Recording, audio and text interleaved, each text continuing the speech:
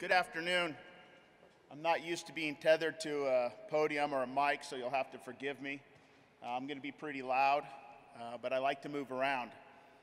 Uh, the first thing, before I get into my remarks, I was thinking this morning about what I would say here. But I have to be honest, when I got here this morning, and many of you may have not been here this morning, so let me paint a picture for you really quick. When I parked across the street, there was a sea of school buses, like I was in some sort of school bus yard. But when I looked at all the names of the dozens and dozens of school buses, I could see all the different counties and school districts from around the state. And then when I walked into the stadium uh, arena today and I came up through the back and I looked out, this place was packed. Thousands upon thousands of high school students from around this state were here to engage about this problem, this epidemic, this crisis that we face today. How often do you see children engaging in, in something like that when it does not relate it to Snapchat or to Facebook? And these kids were engaged. They were excited. They were shouting. They were screaming. The energy was totally electric. And it really, it really changed me.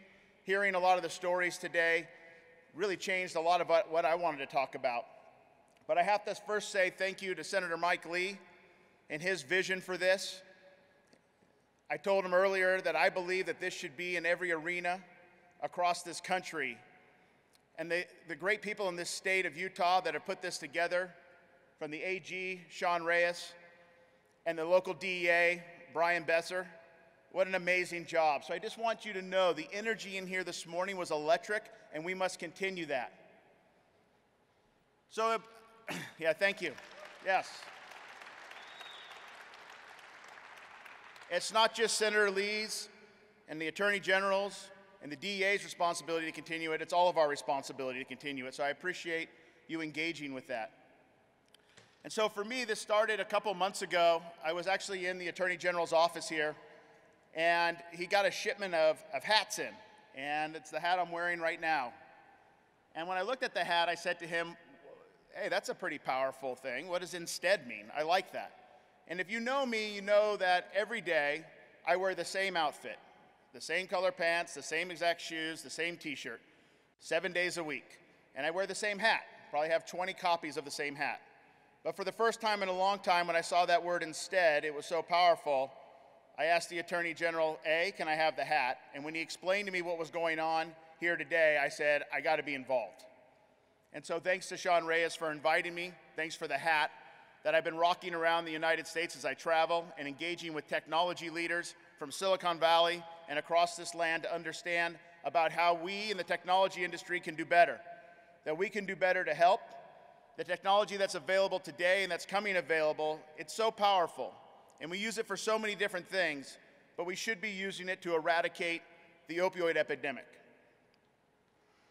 And so, this is super powerful and meaningful to me in the sense that someone very close to me, like a lot of the stories you've heard today,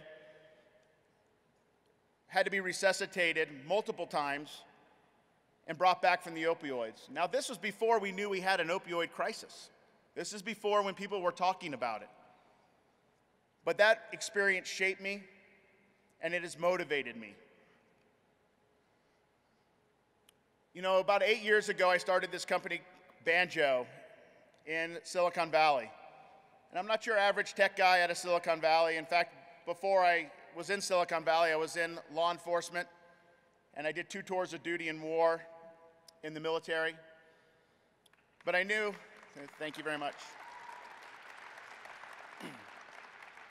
But when I first invented this technology, which has become one of the leading artificial intelligence company in the world, I knew it had a greater purpose. And today at Banjo, there's a lot of ways, like other tech companies, that we could be focused in areas that are quite honestly easy uh, to make money, easy for us to succeed. But when you see what this technology and other technologies around us can do, I'm calling on all of us technical leaders to be more altruistic with our technology and to help, not just with the opioid crisis, but in all the human crises. Because we have the, one of the greatest abilities to make the difference. And we need to stand up and to do our part. And so today, as you heard before, I've moved the headquarters of our company to Utah. Why? Well, Utah, as you know, is leading here in the opioid crisis, leading, showing leadership with Senator Lee and putting together a conference, but also, unfortunately, leading on the bad side of it with the opioid epidemic. And we have to make a difference.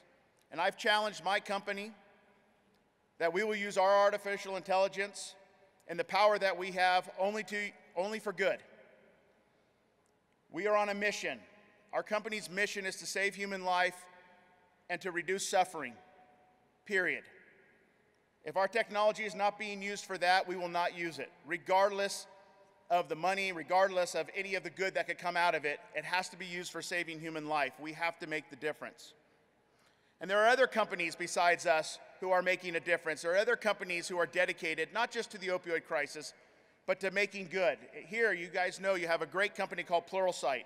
And with Pluralsight One, teaching young people and giving them skills so as they come up, they can focus and lead a path, another choice. Instead of going down one road, instead they can choose another.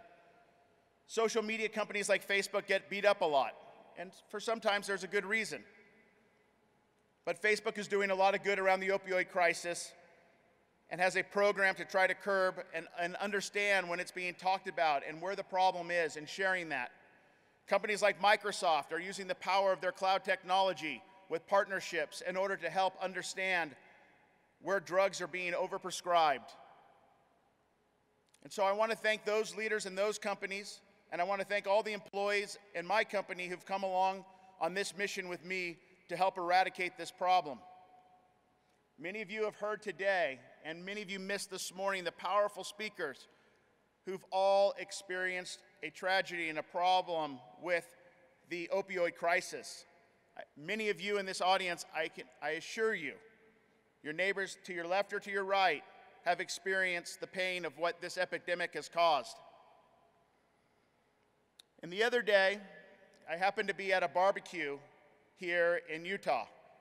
I'm not the most social person in the world. In fact, I usually hide behind the scenes, pretty much like I have the company's name Banjo hidden behind my beard.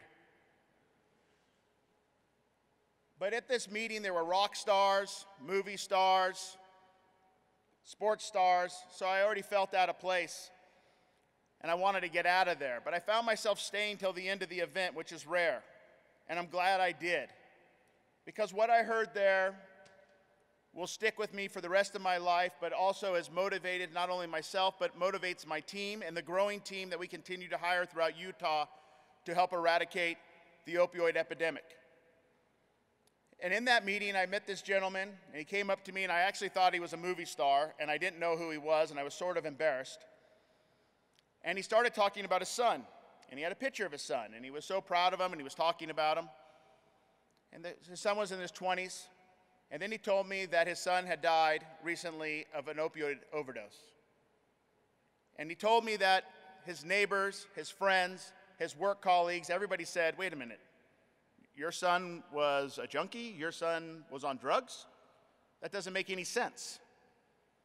And he said to me, What does someone on opioids look like? And again, he showed me the picture of his son who I can tell you was a handsome young man, successful in his work, successful in his family life. And he said, He looks like me, he looks like you, he looks like all of us. There's not a stereotype, and we cannot stereotype. We have to come together as a community and help those in need. And those that are in need, and I know there are some in this audience right now and many of you are saying, well, these are mostly business leaders in this audience. I can assure you, there are people in this audience right now that need our help and our support. I am here for you. This community is here for you. I know I have seen the effects on the dark side of this, but I have also seen what is coming. I have seen the technology that is going to allow us to get ahead of this problem for the first time. And I know that it may seem dark for you, and it may seem hard. But the bravest thing that you can do is ask for help. And so, for all of you in attendance today as business leaders around the state, I challenge you to keep an open mind and not to judge. We're not going to judge these folks that need help. We're going to embrace them because it's the only way that we're going to solve this problem.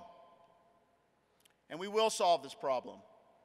Not because we want to, but because we have to. Thank you very much.